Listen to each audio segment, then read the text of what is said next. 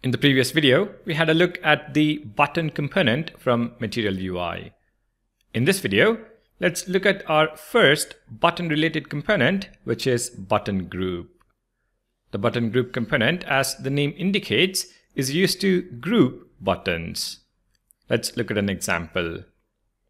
In the same MUI button component, I'm going to add another stack with three buttons.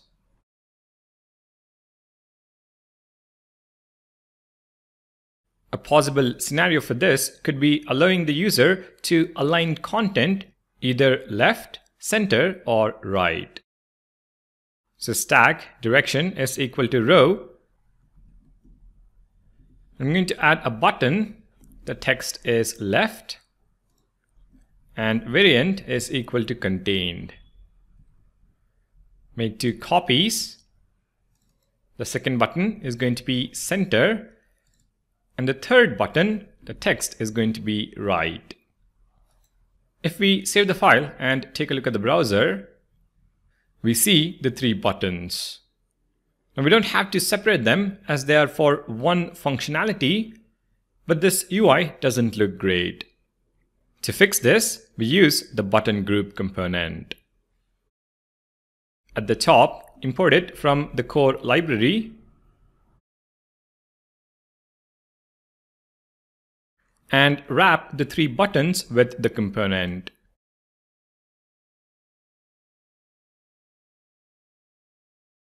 If we now save the file and head back to the browser, the appearance is much better. But there is still room for improvement. When you use a button group component, the variant should be specified on the button group and not on the individual buttons.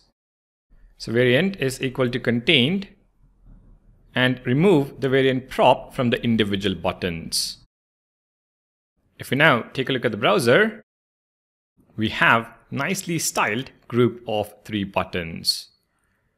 You can change the variant to outlined, in which case you see the outlined button group and we also have the text variant in which case you see the text button group. Now there are a few more props that I want to walk you through. First, if you want this button group to be displayed vertically, you can pass in the orientation prop. So orientation is equal to vertical. Take a look at the browser and the buttons are displayed vertically.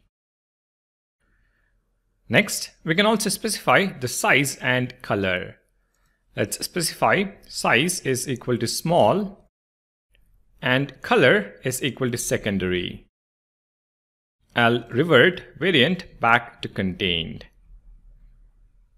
Take a look at the browser and we see the smaller sized button group with secondary palette color. What you should remember though is that the on-click prop has to be specified on the individual buttons. So on the first button, on click is equal to curly braces, arrow function, and we simply alert left clicked. Take a look at the browser, click the left button, and we see the alert. The same doesn't happen with center or right. Now, a last point on the button group is that it is recommended you add an ARIA label. Let's add ARIA label is equal to alignment button group. This will help with accessibility. So that is about the button group component in Material UI. In the next video, let's take a look at the toggle button component. Thank you for watching Make sure to subscribe to the channel and I'll see you in the next one.